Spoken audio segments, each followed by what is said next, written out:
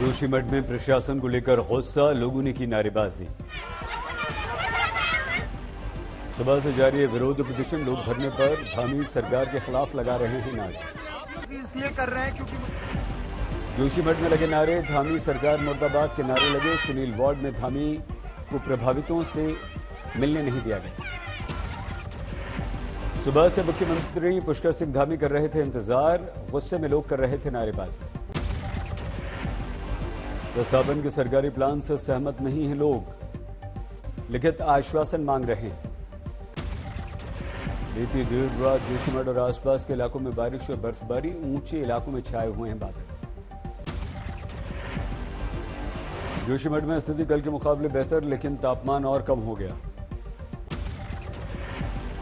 जोशीमठ में लगातार कई दूसरे मकानों में भी दरार बढ़ रही है। अब तक 723 घरों को खतरनाक घोषित किया गया। एक सौ इकतीस परिवारों को राहत शिविरों में शिफ्ट कर दिया गया। प्रशासन का दावा जोशीमठ का सिर्फ़ 20 प्रतिशत इलाका प्रभावित, पीड़ित परिवारों को डेढ़ लाख रुपए की सरकारी मदद। राहत सामग्री के साथ जोशीमठ पहुँच रहे कई ट्रक राज्य के अलग अलग जगहों से भेजी जा रही है राहत सामग्री। जोशीमठ में मुख्यमंत्री पुष्कर सिंह धामी का आदेश, कोई घर नहीं तोड़ा जाएगा। सिर्फ़ दो खतरनाक होटल टूटेंगे। प्रभावितों को फौरी तौर पर सहायता के लिए डेढ़ डेढ़ लाख रुपए की मदद। तीन हज़ार प्रभावित परिवारों को 45 करोड़ की मदद, एक लाख की अग्रिम रकम और पचास हज़ार रुपए सामान की ढुलाई के लिए दिए जाएँगे। प्रभावित क्षेत्र में कुल खर्च का पूरा आकलन करने के बाद मिलेगी मदद की रकम, मुख्यमंत्री ने दिए निर्देश। लगातार हो रहा है कि प्रभावित इमारतों का सर्वे, अब तक 723 घरों की पहचान। जोशीमठ में बारिश और बढ़, से बढ़ गई दहशत। शहर के ऊपरी इलाके में बर्फबारी से लोगों में घबराहट। अगले कुछ दिनों में मौसम की और बिगड़ने की आशंका। जोशीमठ पहुँचे उत्तराखंड के मुख्यमंत्री पुष्कर सिंह धामी राहत कार्यों का निरीक्षण करने के बाद शहर में ही बिताई रात, जेपी नड्डा, अमित शाह ने भी की बात। जोशीमठ में सर्वे करने गई आईआईटी कानपुर की टीम का दावा, नहीं रोका गया निर्माण कार्य तो बारिश के समय स्थिति हो सकती है भयानक, आ सकती है बड़ी त्रासदी। आपदाग्रस्त जोशीमठ मामले पर अमित शाह की बैठक।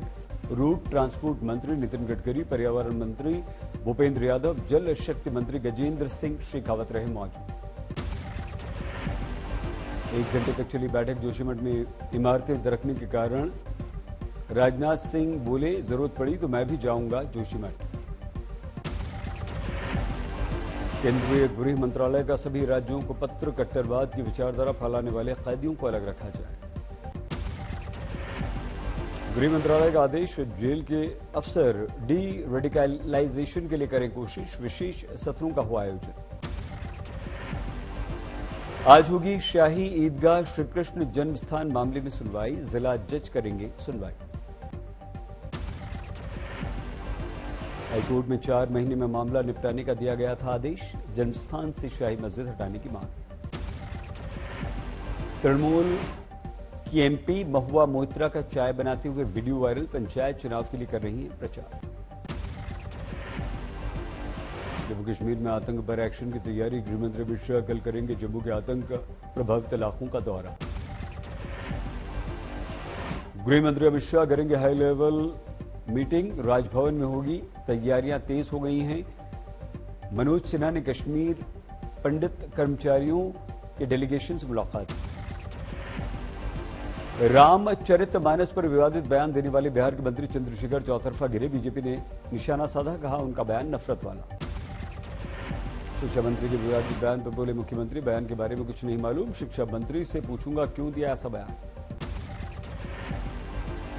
सर्दी से दिल्ली में व्यापार पर असर। 10 दिन में 200 करोड़ रुपए का हुआ घाटा। दिल्ली में केजरीवाल सरकार और एलजी में फिर से टकराव। एलजी का आदेश, राजनीतिक विज्ञापनों के एक करोड़ रुपए आम आदमी वापस दे आपको जारी किया गया नोटिस, सरकारी विज्ञापनों की आड़ में राजनीतिक विज्ञापन देने का लगाया गया आरोप। दिल्ली सरकार के सूचना और प्रचार निदेशालय की तरफ़ से जारी किया गया नोटिस 10 दिन में पैसा चुकाने का आदेश।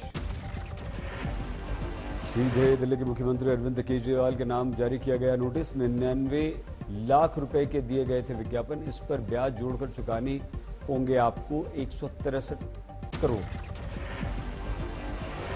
मनीष सिसोदिया ने किया पलटवार। अफसरों पर संवैधानिक नियंत्रण का दुरुपयोग हो रहा है। केजरीवाल को निशाना बनाया जा रहा है। सेना ने की सालाना प्रेस कॉन्फ्रेंस बोले, सेना अध्यक्ष जनरल मनोज पांडे उत्तरी सीमा पर स्थिति स्थिर। सात में से पाँच विवाद के मुद्दे सुलझे। उत्तरी सीमा पर हमारी तैयारी पूरी, लेकिन पाकिस्तान से जारी है आतंकवाद को समर्थन। नॉर्थ ईस्ट पर बोले सेना अध्यक्ष, अधिकतर राज्यों में शांति, सभी जगह सेना सतर्क। पाकिस्तान में गेहूँ के लिए मारामारी, लोगों में टकराव। लोग एक दूसरे को नाले में धक्के देने लगे, सरकार बांट रही है राशन का आटा। महिला उबर कैब चालक से देर रात दिल्ली की सड़क पर लूटपाट, बियर की बोतल से आरोपियों ने गर्दन और शरीर पर किए वार। 9 जनवरी की घटना, लूटपाट के इरादे से किया गया हमला, ड्राइवर प्रियंका को गंभीर चोटें आई। आरोपियों ने पत्थर से कार का शीशा तोड़ा, ड्राइवर से नकदी छीनी। महिला ड्राइवर ने मदद के लिए आवाज़ लगाई तो बदमाशों ने गर्दन पर बोतल से हमला कर दिया। दस टांके आए। पुलिस आधे घंटे बाद आई। महिला सुरक्षा पर दिल्ली में एक बार फिर से उठे सवाल। कोलकाता के सॉल्ट लेक में भीषण आग, भारी नुकसान। दूर से दिख रही हैं ऊँची ऊँची लपटें, दर्जन भर दुकानें हुई खाक। आसपास के पूरे इलाके में अफरा तफरी बारह दमकल आग बुझाने में गाड़ियाँ जुटी। भरूच ज़िले की पनोली में दवा कंपनी में आग, गैस लीकेज के बाद आग लगी। हमीरपुर के घर में आग, दो बच्चों समेत तीन की मौत। राहुल की भारत जोड़ो यात्रा, लुधियाना में सुबह साढ़े पाँच बजे शुरू हुई यात्रा। राहुल के साथ सैकड़ों लोग मौजूद, कल दिन भर चलेगी यात्रा। कल पंजाब के श्री फतेहगढ़ साहिब पहुँची थी राहुल की भारत जोड़ो यात्रा। ऐतिहासिक गुरुद्वारा श्री फतेहगढ़ साहिब में नतमस्तक। लाल पगड़ी में दिखाई दी राहुल गांधी, कड़कड़ाती ठंड में भी पहनी हुई थी हाफ़ टी शर्ट साथ में कांग्रेस के दिग्गज नेता मौजूद। त्रिपुरा में मैथुन कर रहे हैं बीजेपी का प्रचार रथ यात्रा में शामिल। जम्मू कश्मीर के सोनबर्ग में बर्फीला तूफ़ान गांधरबल में अफरा तफरी तून बालताल के पास बर्फ़ खिसकी जानमाल का कोई नुकसान नहीं। बर्फीले तूफ़ान का ट्रैफ़िक पर असर, श्रीनगर से करगिल जाने वाला रास्ता हुआ बंद। बर्फबारी से निपटने की कोशिश श्रीनगर में कंट्रोल रूम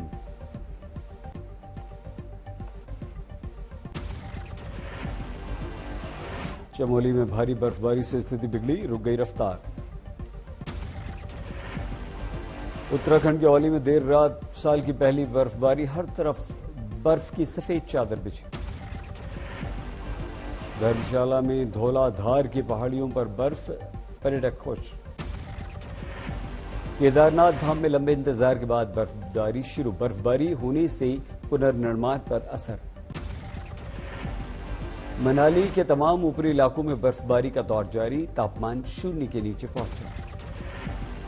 मनाली से बर्फबारी से पर्यटकों के चेहरे खिले हर तरफ़ पर्यटकों की धूम। दिल्ली में आज सुबह भी आठ बजे तक कोहरा रहा, तेज ठंड का दौर अभी चल रहा है, लेकिन अब खिली है धूप। करौली में कोहरे की चपेट में फ़सलें आ गई हैं, जनजीवन पर बुरा असर पड़ा है। दिल्ली में रेलवे स्टेशनों पर यात्रियों की भीड़, कोहरे के कारण अधिकतर ट्रेनें लेट या देर से चल रही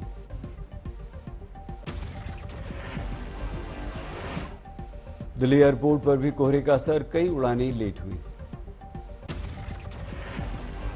इटावा में कोहरे के कारण कई गाड़ियाँ आपस में टकरा गई। कानपुर हाईवे पर हुआ हादसा। नवादा में अवैध अभ्रक खनन पर छापा मारने पहुँची वन विभाग की टीम पर खनन माफियाओं का हमला, रेंजर फॉरेस्टर बुरी तरह से चालक भी घायल। अवैध खनन में इस्तेमाल जेसीबी जब्त, लेकिन ग्रामीणों ने कर दिया हमला, साथ ले गए जेसीबी।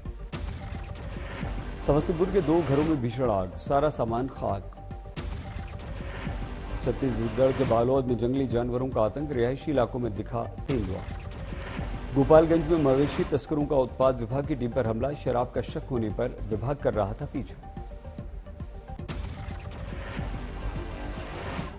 झारखंड के देवघर में बंदरों का आतंक, विश्व प्रसिद्ध द्वादश ज्योतिर्लिंग, बाबा बैद्यनाथ मंदिर में भक्तों में रहता है डर।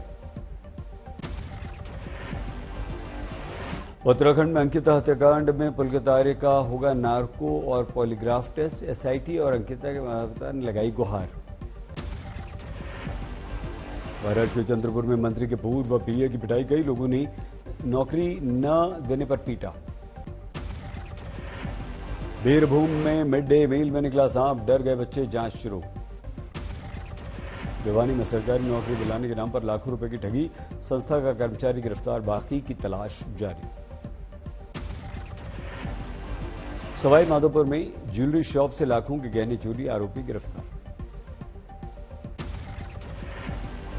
पानीपत में सिलेंडर फटा, छह लोगों की मौत। घर में खाना बनाते समय आग लगी, किराए पर रहने वाला परिवार बना शिकार। बच्चों के शोषण, बाल विवाह को लेकर जागरूकता की मुहिम हुगली से शिक्षक ने शुरू की यात्रा।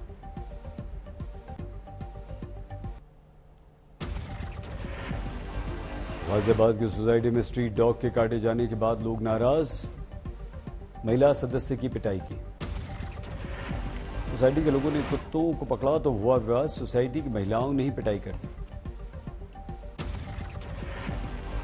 कानपुर में नाइजीरियन गिरफ़्तार, फ्रॉड का है इस पर आरोप। भागलपुर सिविल कोर्ट कैंपस में लगी आग, वकीलों की कई कुर्सियाँ जली। दिल्ली में बदमाशों को पकड़ने गए एएसआई पर चाकू से हमला, अस्पताल में मौत, राजस्थान में अंतिम संस्कार। दिल्ली के मंगोलपुरी में चौवन साल की हिंदू महिला की हत्या, लाश कब्रिस्तान में दफना दी। पुलिस ने महिला की लाश को कब्रिस्तान से निकाला, मर्डर करने वाले तीनों दूसरे समुदाय के।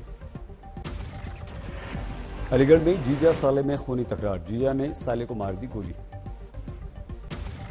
भागलपुर में खुलेआम दूध की कालाबाजारी मकर संक्रांति पर रेट बढ़ गए, साठ रुपए किलो का दूध, सौ रुपए किलो। मथुरा में खेत में करंट सिंचाई के लिए गई महिला की मौत। सरायकेला में बेकाबू वैन पलटी, सवार थे कई मजदूर, हुए घायल। पठानकोट में बीजेपी नेता और एक्ट्रेस सनी देओल को लेकर लोगों में गुस्सा, लापता के पोस्टर लगाए। ग्रेटर नोएडा में ऑटो एक्सपो में कई गाड़ियाँ लॉन्च। एमजी ने लॉन्च की हाइड्रोजन से चलने वाली कार।